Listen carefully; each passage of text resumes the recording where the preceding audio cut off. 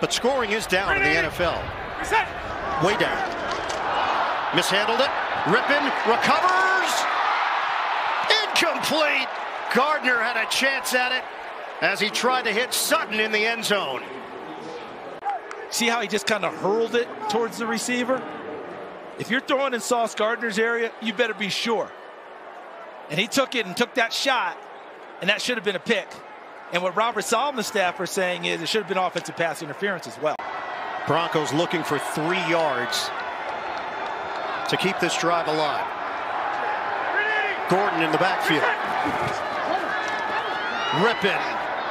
Rifles it. End zone. Incomplete.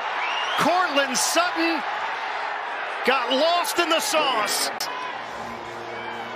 So that's why you draft someone number four. And he's even looking back because he and Sutton are both hand fighting like crazy downfield.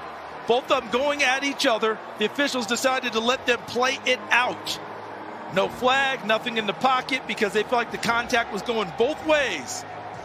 And the length that we talked about of Ahmad Gardner, Sauce Gardner earlier in the game, that long with the long arms, comes into play right there.